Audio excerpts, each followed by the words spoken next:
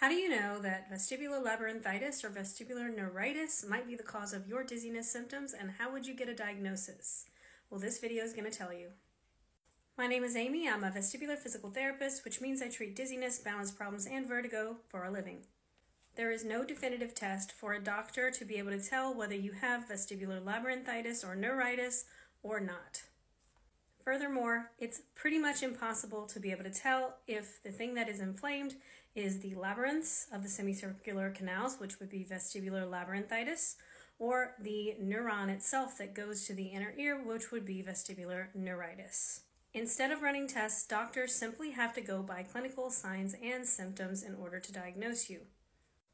This is extremely common for many vestibular disorders, as many vestibular disorders do not have any biomarkers for which we can test.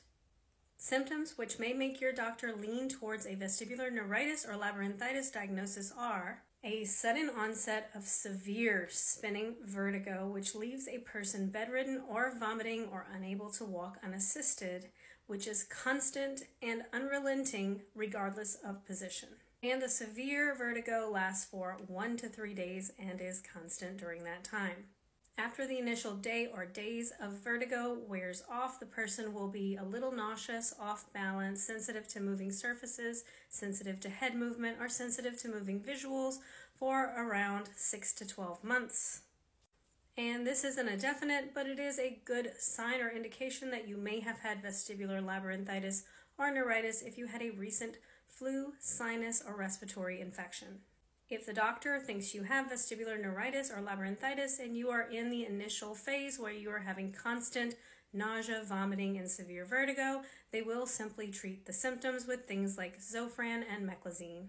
They may also give you things to speed along healing, such as steroids, antivirals, or antibiotic medications. And after the initial severe phase of vertigo wears off, they may send you for additional testing with an audiologist, such as VNG or caloric testing, which will tell them the extent of the damage from the infection. Clinicians who play a part in diagnosing vestibular neuritis or vestibular labyrinthitis include neurologists, ENTs, neuro-otologists, and audiologists. And clinicians who treat this condition include all of the aforementioned clinicians as well as vestibular physical therapists. To find a qualified clinician who is well versed in dizziness near you, go to vestibular.org, click Find a Clinician, and type in your zip code.